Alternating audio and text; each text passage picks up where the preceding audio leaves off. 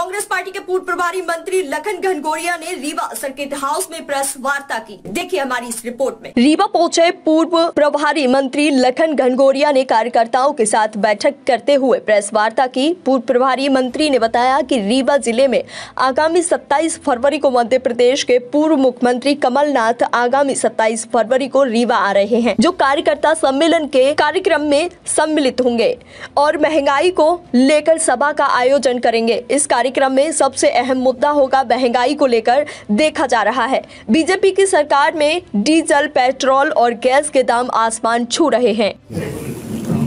आदरणीय पत्रकार बंधु, सबसे पहले तो आप सबसे इस बात के लिए क्षमा चाहता हूँ कि थोड़ा सा विलम्ब हुआ।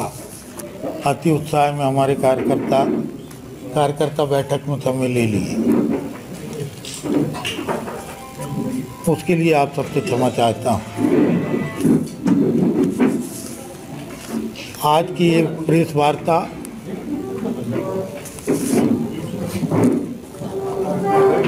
सत्ताईस तारीख को हमारे प्रदेश अध्यक्ष, पूर्व मुख्यमंत्री माननीय कमलनाथ जी के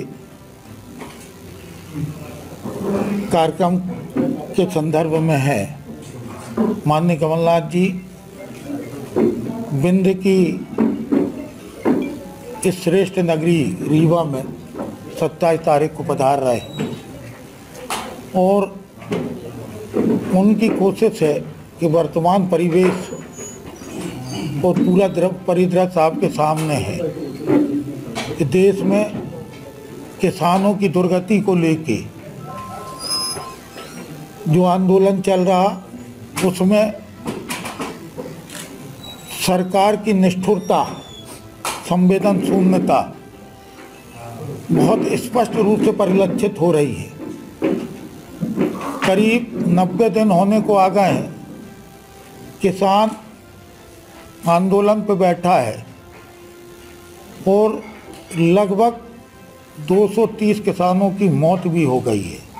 लेकिन सरकार के पास संवेदना का एक शब्द नहीं है। उसी प्रकार से हर चीज़ों का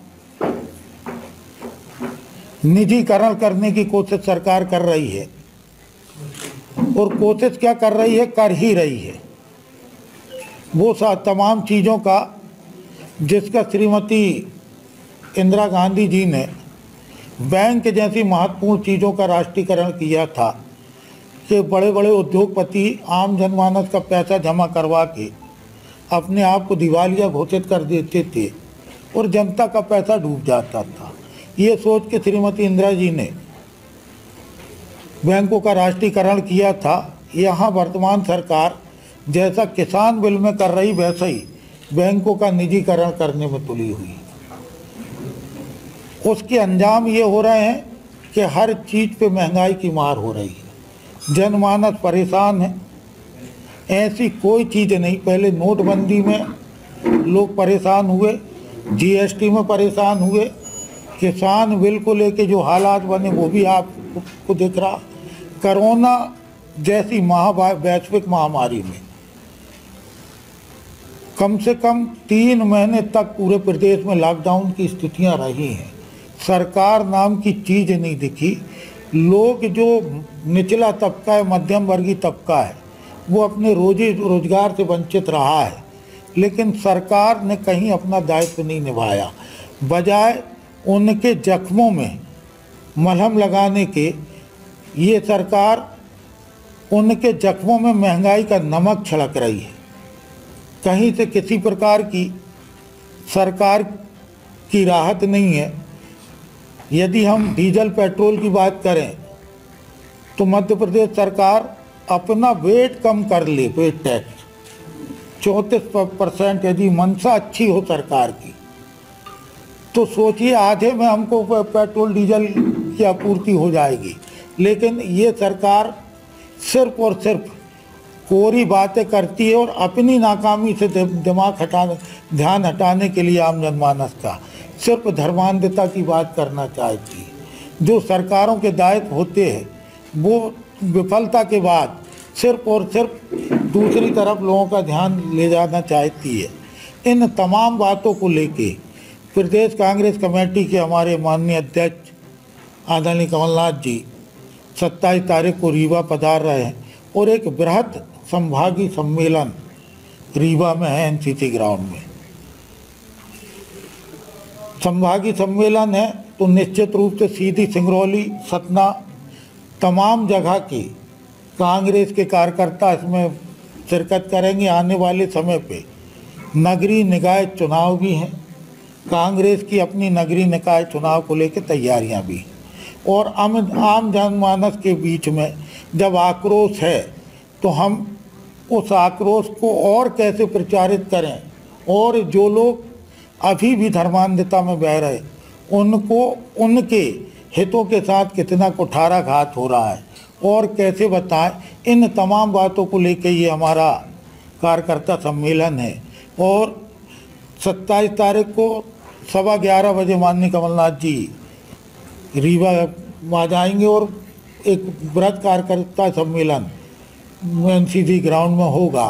मैं व्यापारियों से और उसके पहले व्यापारियों से मिलेंगे उसके बाद कार्यक्रम स्थल पे जाएँगे। उसी दिन चूँकि संत रविदास जयंती भी है संत श्रोमणी गुरु रविदास जयंती के अवसर पर इस कार्यक्रम में उन तमाम लोगों से भी मिलेंगे जो संत रविदास जयंती के अवसर पर माननीय कमलनाथ जी से समय चाहते थे। और इन तमाम चीज़ों को लेकर ये हमारा एक आयोजन है। मैं आपसे गुजारिश करना चाहता हूँ, वर्तमान दशा आप पूरे प्रदेश की देख रहे हैं। आप वास्तव में एक आईना हैं। आईना दिखाने वाले हैं चौथे स्तंभ। आप देश की दुर्गति देख रहे हैं, इसलिए आपसे अपेक्षा करते हैं कि हमारे इस कार्यक्रम में आप सहयोग करें। आप अपेक्षित सहयोग करेंगे तो निश्चित रूप से एक नया वातावरण, जो जनता के हित का वातावरण होगा, वो बनेगा।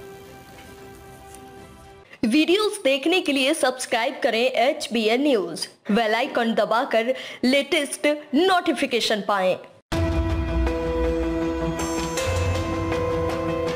क्या आपको एग्ज़ाम का डर सता रहा है? क्या आपको अपनी पसंद की बुक नहीं मिल रही है? अगर हाँ तो आइए हमारे सिटी बुक सेंटर और पाइए सीबीएसई, एनसीईआरटी और यूपी बोर्ड की हर तरह की बुक राजेश शर्मा जी द्वारा बुक सेंटर अचल ताल अलीगढ़। संपर्क करें nine four double one eight seven eight three five one. Naresh electrical Atrauli की नंबर वन दुकान, जहाँ सभी प्रकार की कंपनियों के बिजली के सामान उचित रेटों पर मिलते हैं।